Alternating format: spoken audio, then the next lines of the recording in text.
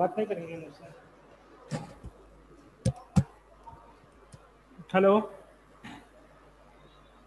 good afternoon sir good afternoon everyone Kumar किसले who is he whoever you are please uh, change your photographs. Uh, students, today we will study the remaining exercises of lesson 2 and we will start the next le- third lesson that is article and their uses. B- but uh, before we uh, start today's class, is there any problem or doubt or anyone wants to ask anything? किसी कुछ पूछना है related to whatever we have studied so far in the grammar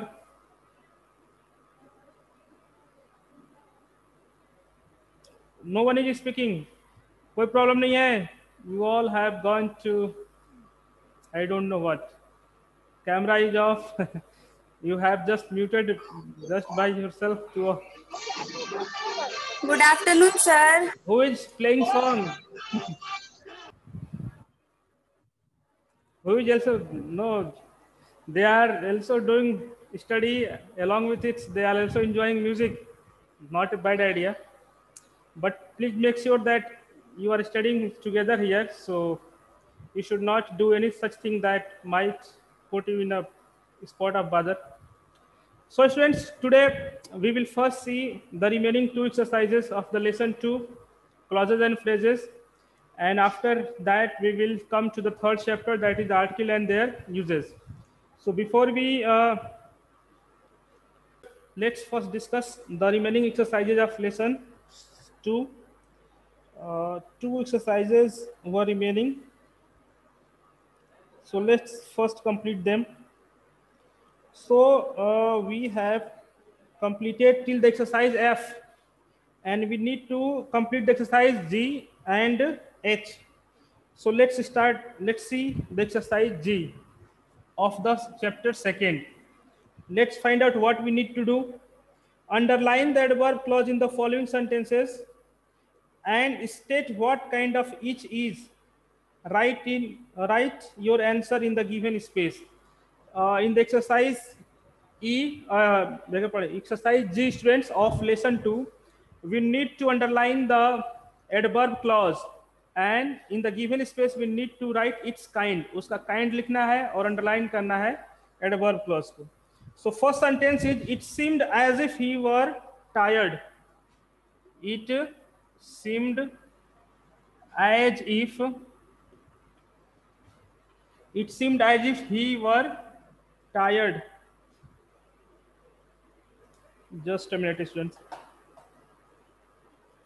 It seemed as if he were tired. So in this sentence i had told you how to identify the subordinate clause. So you can clearly see conjunction is here. So the part of the sentence followed after the conjunctions is uh, subordinating so here this one is the adverb clause so you can underline it and as far as its kind is concerned it's a manner you can write in the given space manner आप manner लिख लीजिएगा let's come to the second sec second sentence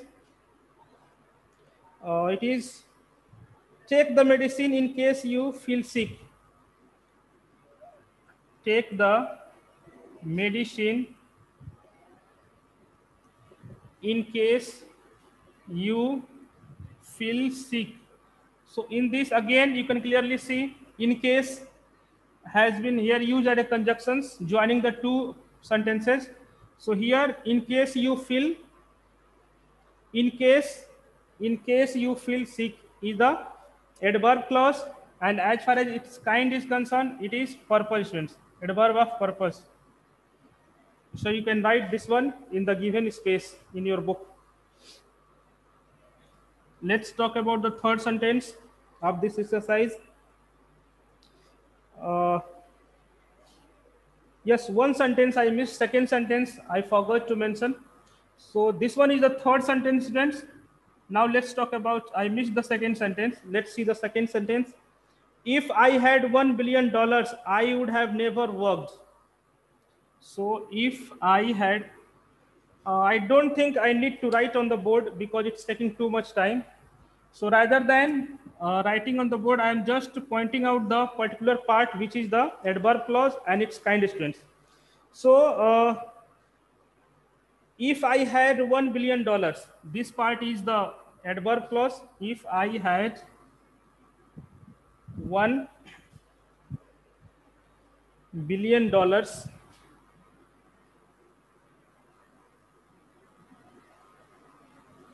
billion dollars. So this part is adverb clause students and as far as its kind is concerned, it's showing the condition.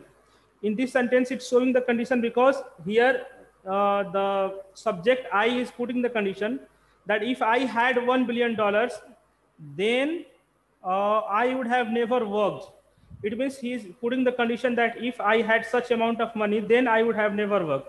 It means he didn't had that amount. So here we are talking about the condition in this clause. So this in this one is the adverb clause, and in adverb it's a conditional. So it's condition. It's showing the condition. So you can fill it in the given space or the, uh, in your book condition. So now let's talk about the next sentence. That one fourth sentence she sings as melodiously as lata mangeshkar sings. As melodiously. So uh, again students in this sentence uh, as melodiously as as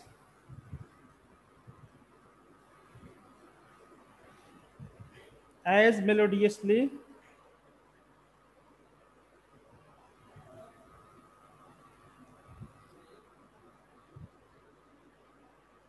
M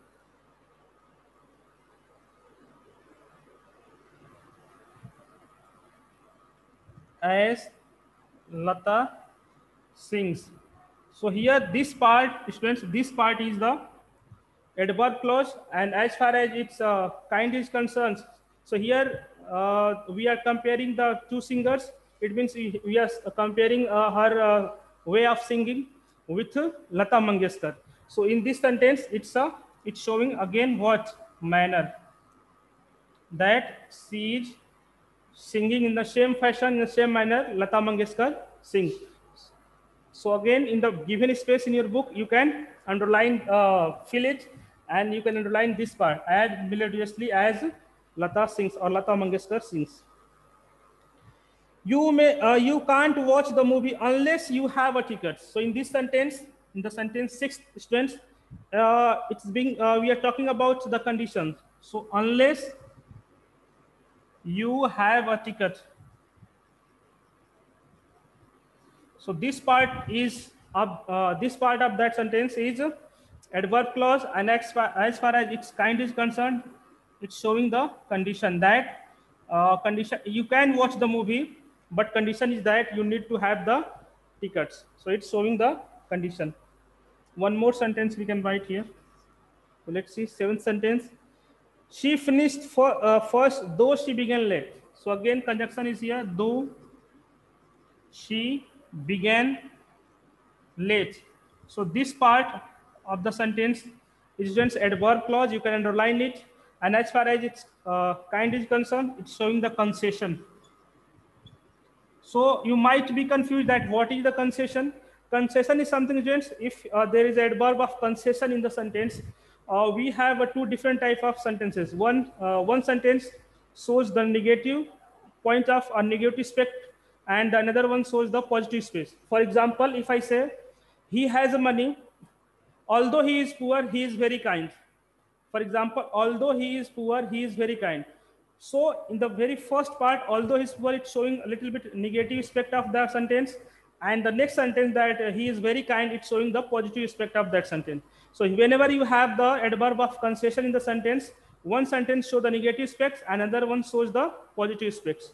So you can also see in this sentence that uh, she finished last, although she began late. So first, uh, first sentence showing the negative aspect that she finished last.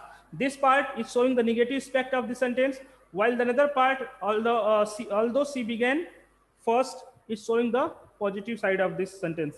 So this is how, uh, no, this is what, uh, no, we, this is what we know get in the sentences when we talk about the adverb of concession. Now let's see the another sentence. Take a lamp because it is dark outside. Take a lamp because it's uh, dark outside. So here we are talking about because uh, it means what does because so reason. So in this sentence, because uh, because it is dark outside. Sentence number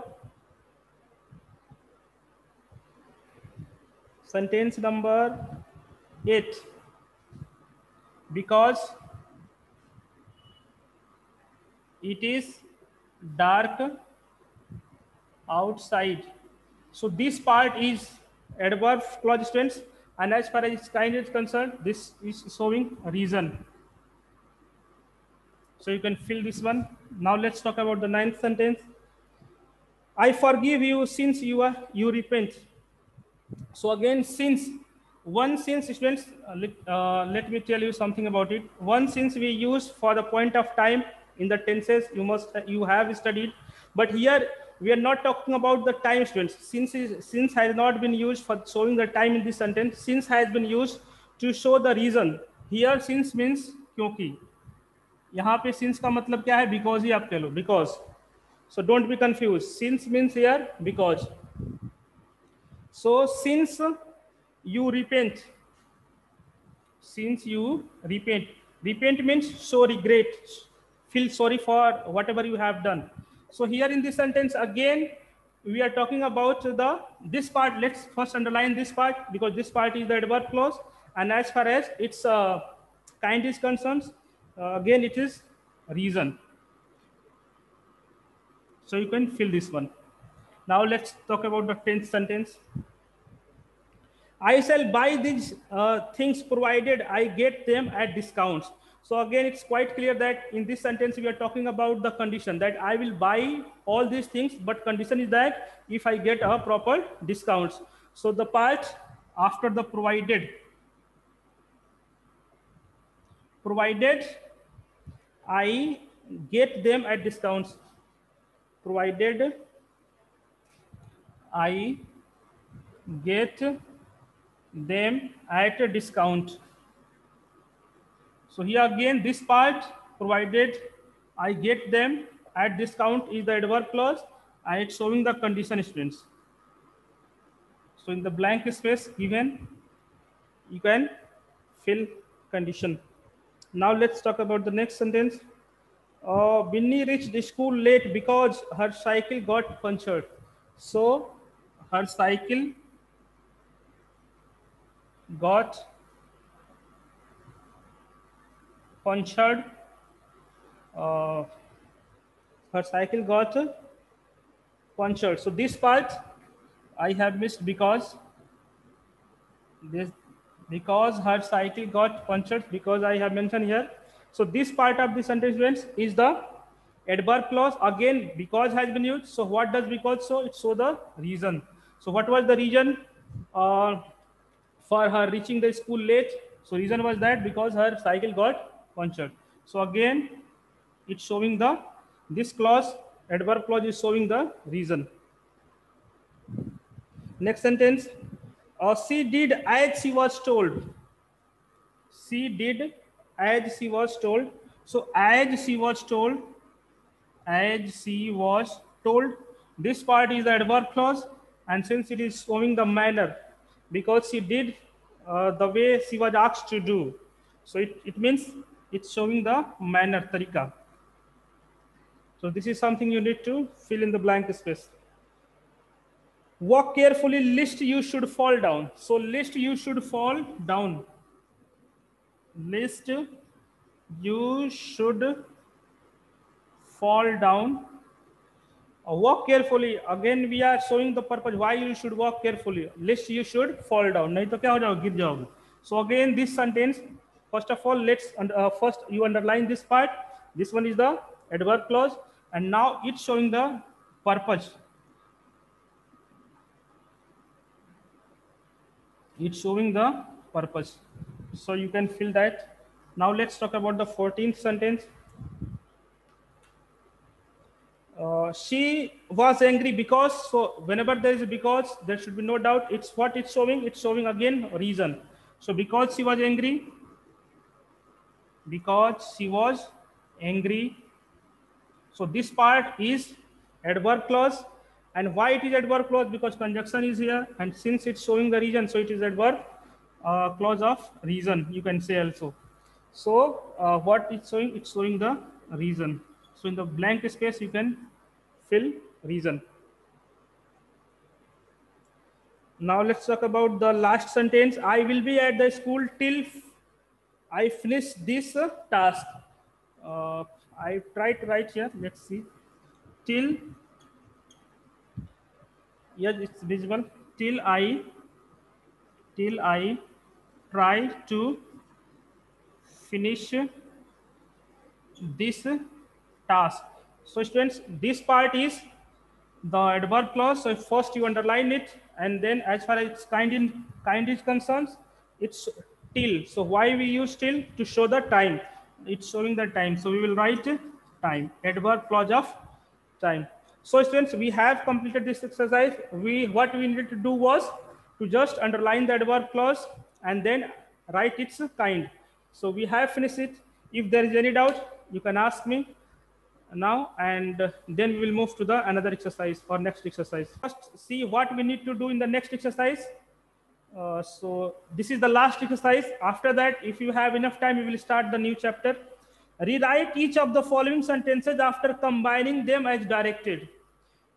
Direction is given in the bracket students. What we need to do then we need to combine the sentences using the different clauses. So this one is a little bit tough. So it's very important. Just try to understand uh, how we are just combining it. And once you are able to understand you can also do by do it by yourself so try to understand it don't uh, no just uh, think that sir has written on the board so just copy it just try to understand it how i am just combining these sentences so that whenever you have to combine it uh, you can do it by yourself and when if there is any doubt you can also let me know you can ask me so let's see the first sentence a lion is a lion is an animal. It is very strong. First sentence is a lion is an animal. This is the first sentence, friends. It is very strong. It is very strong. It is very strong. So two sentences are given and let's see what is the direction. You, we need to an adjective clause. Adjective clause हमें use करना है so first students you need to know that how we use adjective clause in the sentence so what are the words which we use in the adjective clause for things and for animals we use either which or that if you are to combine using the adjective clause so for the things and if you are relating a things or animal we can use both either which or that if you are relating to a person, then what we use? Who. So these are the uh, words, relative pronoun. These words are relative pronoun we use in adjective clause. So here we are talking about animal students. So either you can use which or that, both would be right. Don't be confused. Dono sahi hoga. So let's combine this sentence. Uh, a lion is an animal so now here is the noun after which we need to use the adjective clause. It means relative pronoun. So it's animal. We are talking about the both words you can. Uh, so the both word you can use either you can use that or which. Both would be right. But I would prefer you should use which. आपको which use करना चाहिए. Which is which is so after that you don't need to write it. You will directly write that a lion is an animal which or that whatever you want to write is very strong. So this is how you can combine these sentences. Now let's see the second sentence. Uh, a novelist is a person he writes novels. We, we need to use noun clause students so generally in noun clause what we use we can use who whom what all these words. So how we will we will combine this? A novelist, a novelist is a person, is a person. So again, students, we are talking about person here. We are not talking about a thing or animal. So which pronoun we will use? Not which or that. We will use who. Who writes novels. So I think it's very easy relate uh, in comparison to the first sentence. Now let's talk about the third sentence. This sentence, students, little bit tricky one, little bit difficult one. So I will come to this sentence at last. अंत में इसके बारे में बात करूंगा.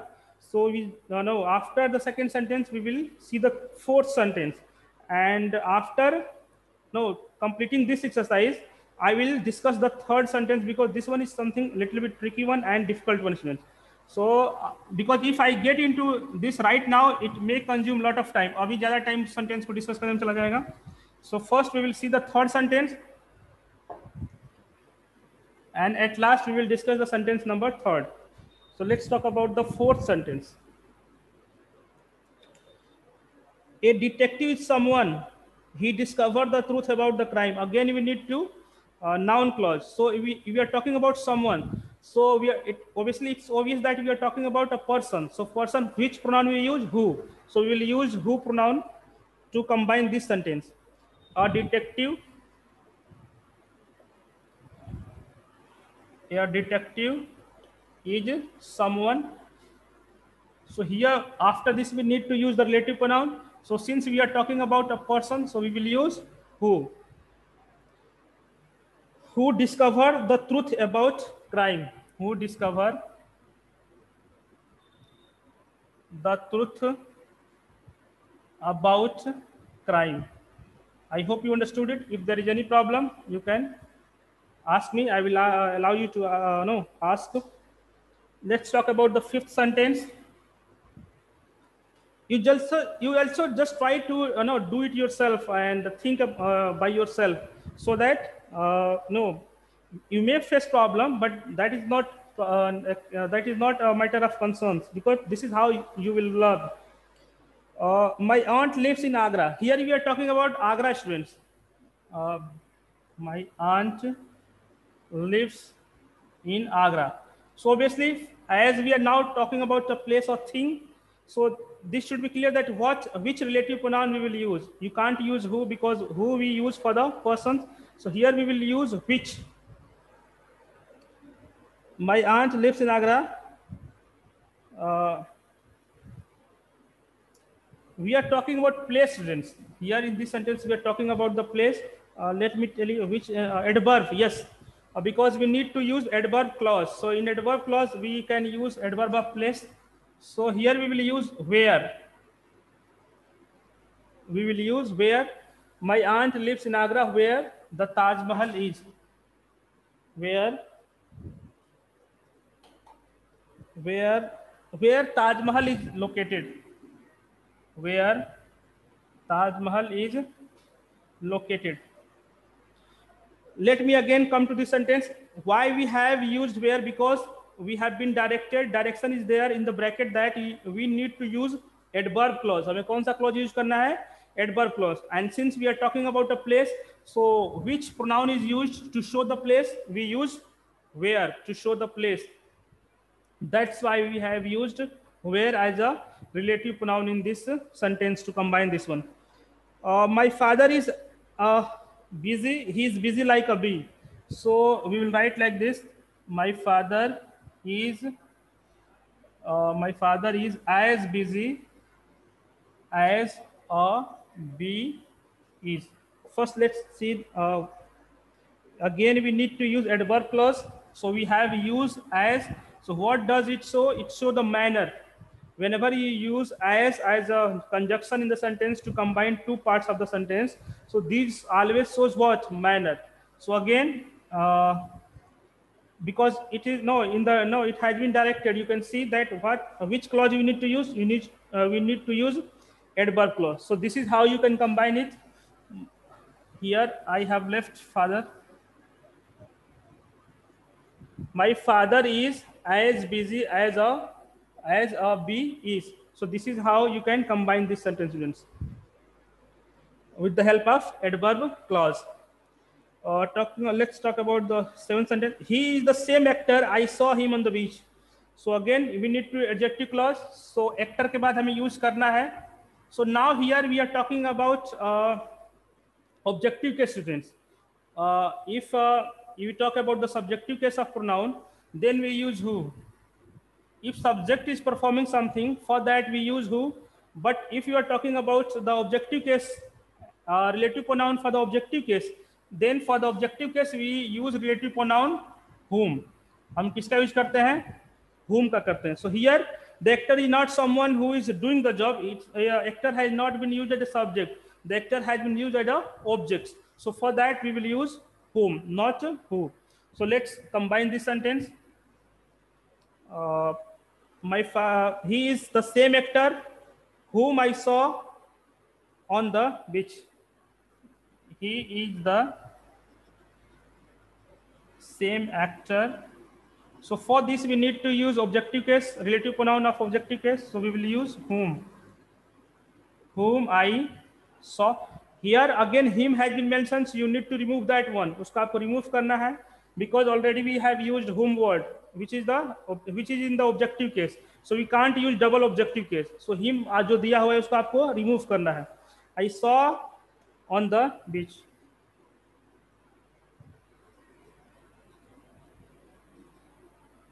यहाँ पे जो हिम दिया हुआ है आफ्टर सो आपकी बुक में दिया होगा देयर यू नीड टू इसको आपको रिमूव करना है. It will be not there again ये वहां पे नहीं होगा so you can remove it now let's talk about the eighth eighth sentence let's see what the sentence is keep a general generally some students a notebook or diary you can say uh, in which you can uh, note down your important events important dates keep a journal with you you can note down adverb clause so adverb clause we will again use where students So let's combine this sentence keep a journal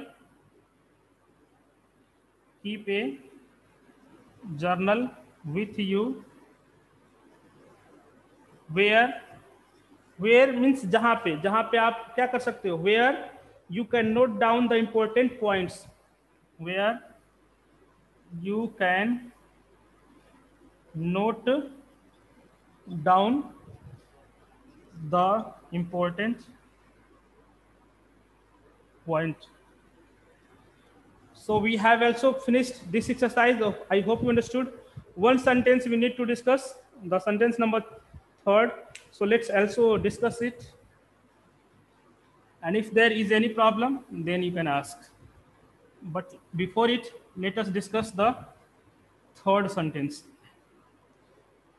It's little bit tricky one students but i will try to explain it to you and try to make you understand the girls speak chinese. Her mother cooks rice dumpling. So students you know that uh, noun clause is used either as a subject or objects of the sentence. So here uh, which uh, which are the noun uh, words we, uh, we can use as a noun clause? So what can be also used who can be also used uh, so these we will use uh, we- will combine this sentence with the help of words. So let's let me try to combine it the girl the girls speak chinese her mother cooks his rice dumpling. We need to use noun clause. So what what uh, chinese speaking? Little bit changes we need to do students to make it the noun clause. Chinese. What chinese speaking? Speaking what uh, chinese speaking.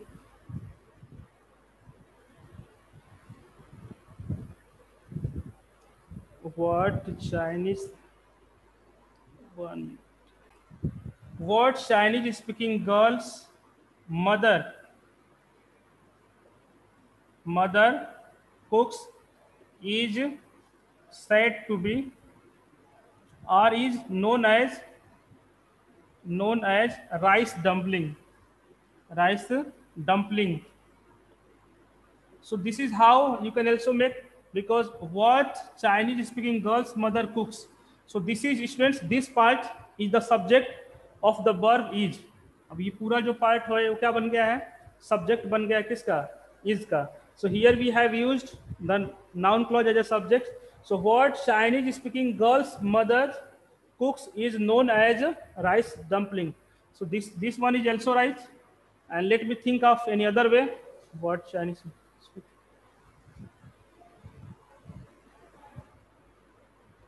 This one is right. I don't think we need to discuss the another way. So you can note combine it like this. And now you have, if you have any problem, you can ask me. We have finished all the exercises of lesson two as well. Now we will start the third lesson. But before it, if there is any problem, you can ask me. Students, any problem? Yes sir वाला और sir एक बार six वाला बता दीजिए Repeat again. Sixth. Apart from the sixth sentence, which sentence you want to know? Sir my father is busy he is busy like a B Uh, this one is uh, which sentence? Sen- number of sentences? Sir sixth. Six. So this one six sentence? Okay yes my father is busy he is busy like a bee. So you we in this sentence we need to use adverb clause. So if you are comparing the uh, no we here we are comparing the business of the two people. First a bee like bee is always busy. So here uh, the subject is comparing his father like he is also busy like bee is always busy. So for comparison we use which uh, conjunction we use? we use as.